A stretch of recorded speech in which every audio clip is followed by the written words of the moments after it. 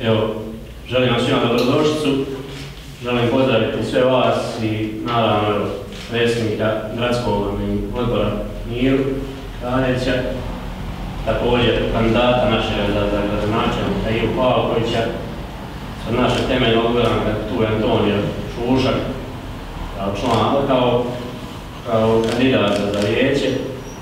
I želim pozdraviti isto tako Josovana Canca, da isto koji je kandidat za, za nositelj liste ove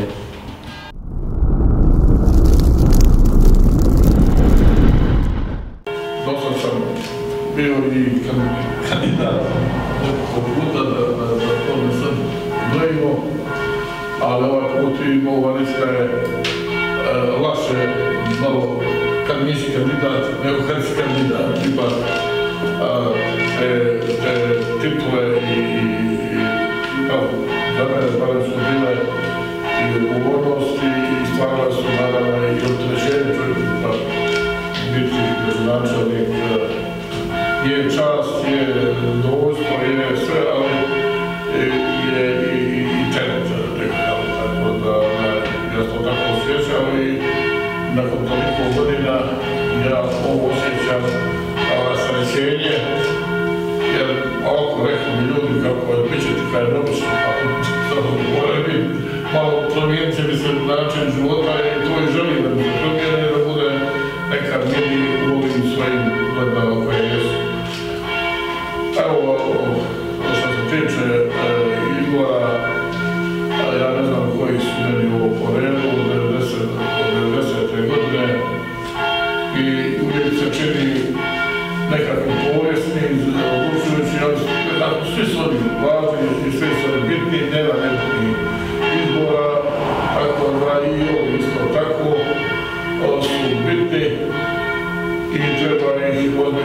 ozbiljno svima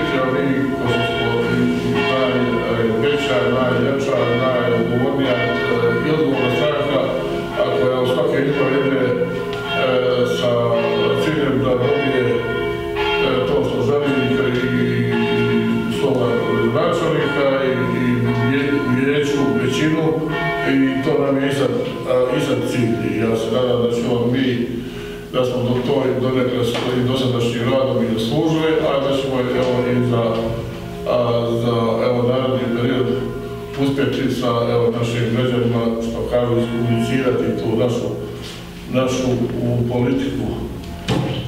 Nije to danas je ovo postalo malo su tu politiku, nažalost, ogađena je među nekoj široj e, među ovim medijima koji, koji olako o, pišu i o ljudima i o, stvarima, ali i pored toga mislim da treba, kad se ponovo u životu, opet bi se e, bavio u prvom redu ovo o lokalnom politikom, jer je ona jasnija i, čistija nego ove, pogotovo u ovoj državi, e, našoj kakva je, neuređena i, i, svakakva sa, svim svojim problemima, ali lokalno je ovo, povedati, jednostavno možeš da se ne baviš e, sa, prostorom u, kojem živiš i šta je drugo, ja rekao, danas načelnike mi smo komunalni političari.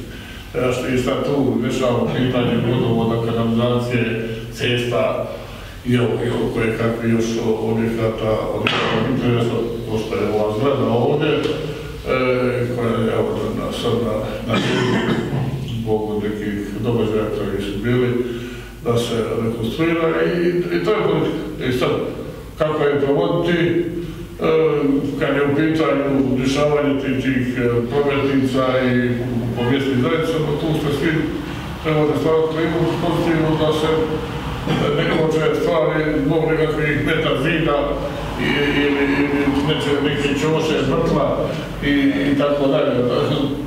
To je otprilike e, politika ova koju sam ja dugo godina radio, ali da bi uspio ja kao gradonačelnik tu dobiti poziciju kao što je sad u ovoj situaciji Ivo, o, trebamo, trebamo mi svi da on dobije potporu u cijelom širokom dijelu i, i da za ne sumnja nimalo i da sutra i dalje budemo na, na dispoziciji i, i da mu pomažemo u, u radu i kroz vijeće i, i kroz stranku. Tako da ja sam uvjeren da sad neću, ne želim uopće govoriti o sebi, uradio sam što sam radio, vjerovat se nešto i, i napisati, izbrojiti nekakve cifre i ovdje ima nešto, sam vidio da, je u protokom mandatu, pa pročitajte, a, mislim da ima toga dosta tu za napisati, a da nema posla još koliko hoćemo i, i, i je, to, to, to je tako. Mislim, to je, ima, uvijek nikad neće niko i ne treba stvari ni, ni, ni ulaz u ovo da će s tobom početi svijet i završiti. Kada se godine, ali sad je opet dolazi i problemi, postoji, stvari se, stvari se na ciklusima i ponavljaju, tako da, da, da, da, ja sam vodio neku politiku, inače sam ono, pragmatičan čovjek, realne, mogućnosti u datom momentu. Treba se raditi u isto kad uradi ono što u datom momentu možeš uraditi, a uvijek se nešto može uraditi. Ako ne može kuća se ovaj, renovirati, može se okrešiti, ne može okrešiti, može se okrešiti i, i očistiti, tako da i ovdje uvijek se onaj, radio se, radio, probao sam tako provoditi te politike. Sad, ovo što dolazi, evo, vidite slogan ovdje, e, novi ljudi za nove, izazove, evo ovdje posebno naglasio ove izazove. E, dolazi to neko vrijeme e, većih i boljih mogućnosti. Sa sljedećom proračunu je bilo 5-7 milijuna kad sam prvi mandat, a nije oni danas ni blizu da bi mi mogli neke velike planove praviti. Nije blizu, ovo bi trebalo biti puno, puno veći. Ako bi sam poredio općine i gradove u Hrvatskoj i naše iste veličine, iste snage, slične snage, bi blizu je to. Ali ja se nadam da će i ove visoke politike omogućiti te e, integracije evropske i, i, da smo tu, da se tu otvoriti neke mogućnosti i, i da, bi, da bi mogli evo, mi uhvatiti se u kolo sa tim, sa tim politikama i uzeti, ja sam uvjeren da bi cijela i, i kao narod tu dobro prošla i kao široki brijeg sa, sa ljudima, evo, ovdje vidio sam neku večer, kad kažu, i, i mladi, i mladi, a nisu zeleni, možda biti zeleni čovjek kao koji završi fakultet, i mladi i školovani. 90% skoro završili fakultete i mislim da ne fali ni, ni, ni nekakve e, i, tako i sutra gradonačelnik, da će te neke izazove nove znati iskoristiti e, koliko je maksimalno moguće i, više. Jer na, slušajući ovako kad hodamo po u Hrvatskoj smo Vinkovcima, tamo smo oni imaju raspolaganje danas što je evropskih tih fondova neograničena sredstva. A i sad stvar je pripremiti ovdje e, projekte i, i programe kako to iskoristiti. Tako da, da to je ono što ja očekujem u narednom periodu i jedna, e, da će, da će ove novi ljudi, vi mlađi koji dolazite dalje trebati raditi na tomu iskoristiti i stvoriti još bolje uvjete za široki Tiče gospodarski, danas statistika nam je dobra i sa tendencijom još povećanja, ali nam treba nekih strateških stvari o kojima ćemo i možda malo kasnije više govoriti. Ali evo, ja sam pokušao malo pa neka svoj dio kao predsjednik gradskog odbora i, i, i od koliko je važna uloga stranke koja treba omogućiti nama te pozicije mandate da bi i dalje u potpunosti mi snosili odgovornost za naš široki bilje. Mogu bi ja sad nakon toliko vremena govoriti ko zna koliko, ali neću, neću duljiti, nek ljudi i kažu, uglavnom trebate cilj ovoga je probuditi ljude da izađu na izbore. Malo su mi tu, malo su mi tu znamo biti vijeni, e kad se nešto dogodi, onda e, trebali smo odrbati. To je u sve je kažnjivo da izaći na izbore. Tako da, onaj, bitno izaći, ja se ne plašim nikad te naše većine, ali, problem je ta naša, vjernost i ovo, danas možda malo i tu i mediji stvore neku lošu klimu, da, ljudi jednostavno tu politiku ponekad ne sa neđenjem doživljava, ali nije to to, treba se baviti politikom jer mi e, smo zadnjih 30 godina, kako sam to kroz povijest mogla vidjeti prvi put povijesti, odlučujemo sami o sebi. Uvijek su neki režimi bili koji su namješali, a ovaj put pa mi biramo. Tako da imamo što imamo i trebamo biti optimisti i nadati se zato da izbore, pa koliko nas ima tu dovoljno, ali može to prenijeti na, na prijatelja dobinu i da se na izbore i ja se ne plašim. Evo, hvala vam na pozornosti. Ja sam Antonio Šušak, znači na listi sam ispred temeljnog ugranaka Brig. Nisam velik govornik, ja sam par riječi, znači reći. Samo se želim zahvaliti znači, svom temeljnom što mi izabrao da ja budem član ispred temeljnog ogranka Brig.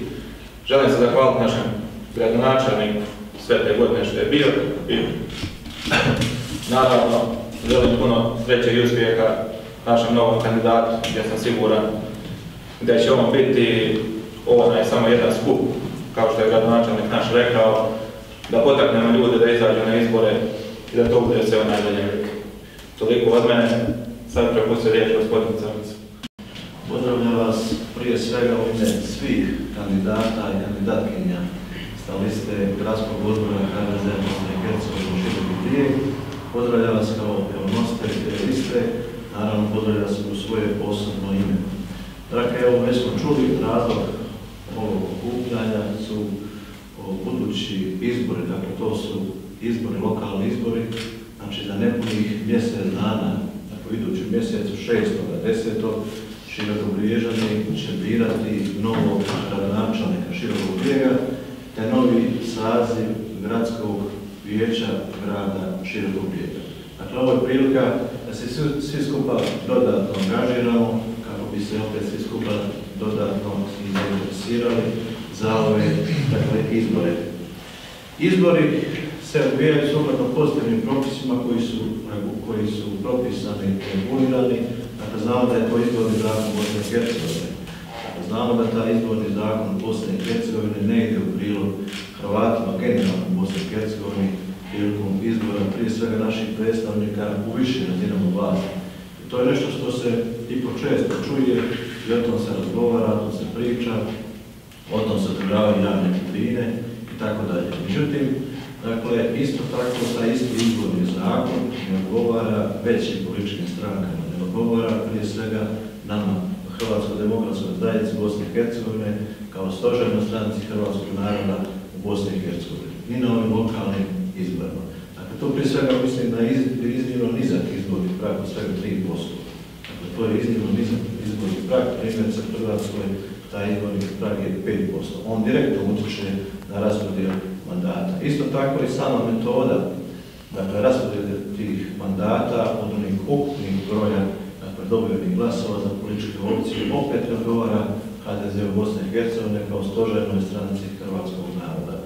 Dakle, s tim u vezi moramo se dodatno angažirati, biti još puno bolji, puno organiziraniji kako bi i ove izbore dakle, dobili i potvrdili se kao ona politička opcija koja je predvodnik svih postavnih procesa dakle, u Bosni i Hercegovini što se tiče prije svega Hrvata, ali generalno svih procesa cijeloj Bosni i Hercegovini. Dakle, ja kao nositelj, evo večeras ovdje ću predstaviti dakle, sebe dakle, kao nositelja ove liste. Evo, čuli smo već vašeg našeg domaćina dakle, gospodina Antonija Šuška koji je na rednom, rednom broju, dakle, 29 ove liste. E, naša lista broji 30 kandidata, dakle 30 kandidata koji su spremni biti vjesnici gradskog vijeća grada Širokog brijega i provoditi zacrtanu politiku dakle, HDZ Bosne i Hercegovine, gradskog odbora, ali isto tako i zastupati interese naših građana. Bez naših građana, naših mještana, dakle, nema, ne ništa ni, ni od nas, ni bilo koje druge političke opcije.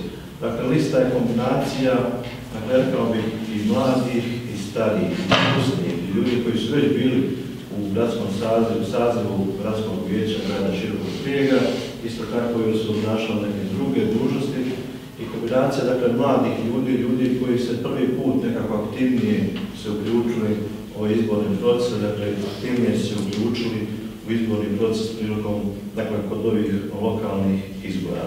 Evo ja ću sad, kao što sam rekao, dakle iskoristiti priliku pa ću predstaviti i ovdje prisutne kandidate, pa evo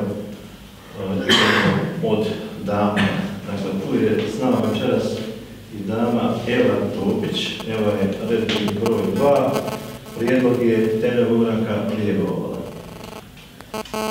Dakle, od prisutnih dama, tu je s nama večeras i na rednom broju 5, pod rednim brojem 5, gospođa Ana Čužić.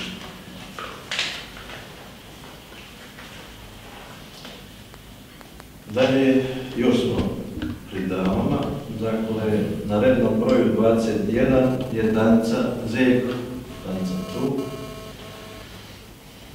Dakle, pod rednim brojem 26 to je Marija Brekalo. I od gospode, dakle, pored od mene Antonija, dakle, tu je pod rednim brojem, dakle, 14 Boro Krkaš, Teljograna Trn, isto tako Toni Lilović, Teljograna Biograc i redni broj 22. Dakle, svi ovi kandidati ovdje prisutni, ali i oni koji su drugi na listi, svi skupa možemo učiniti puno. Dakle, pardon, jednog sam zaboravio. Dakle, ovo je prvi predizborni skup, pa nekako, ajde, probamo, ajde, prosim. Marko Lasić i Franjo Krkać, još jednom se ispričavam. Biće prilike upoznat ćemo se bolje. Da, dakle, ovo je pr prvi u nizu predizbornih skupova, pa evo, dopustite se mi ovakve greške, lapsuse, dakle, neće više biti. Dakle, svi skupa možemo učiniti i zajedno pojedinačno da promoviramo naše ljude, dakle, naše kandidate na svim našim listama, tako na taj način da privolimo ljude, birače, da iziđu na izbore, siguran sam. Dakle, veća izlaznost odgovara HDZ u Bosne i Hercegovine i na taj način ćemo dobiti izbore i potvrditi status stožerne stranke Hrvatskog naroda. Evo ja toliko, hvala vam.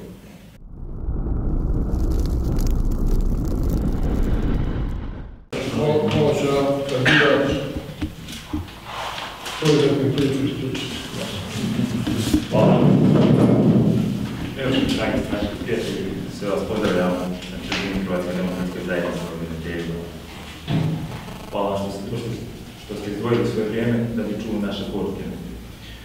Uh, kao što se gradonačnik rekao, ja sam Ivo Pavlović, kandidat za gradonačnika širokog brijega. Kao što možete vidjeti, uh, u našem sloganu Novi ljudi za nove izazove, novi kandidat za gradonačelnika, novi nositelj liste za gradsko vijeće. Čisto par informacija o meni, koliko da steknete neki dojam zašto sam zašto sam kandidat za gradonačelnika. Uh, imam 41 godinu, uh, nakon ekonomskog fakulteta, 7 godina radio sam u privatnom sektoru, poslije toga nekih 11 godina radio sam u gradskoj upravi kod nas u širokom brijegu, počeo kao stručni savjetnik za javne nabave, nakon toga prešao na mjesto šefa osjeka za gospodarstvo, a već dvije godine pomoćnik gradonačelnika za gospodarstvo. Radeći u gradskoj upravi na različitim pozicijama, stekao sam i različite iskustva u različitim poljima. Tako da mislim kako da su možda baš te javne nabave najviše moj put prema pripremi razvoju konotaciji projekata. Tako da mislim da, da nema uh, donatora, bilo da je županijski, federalni ili europski, da svojim kolegama nisam radio na pripremi implementaciji tih projekata. Kao što možete vidjeti u našoj tu brošuri, mi smo naveli projekte završene u protekle četiri godine. Tu ima pobranih nekih 40 nešto projekata, će ukupna vrijednost iznosi nešto manje od 17 milijuna maraka. To su samo navedeni veći projekti.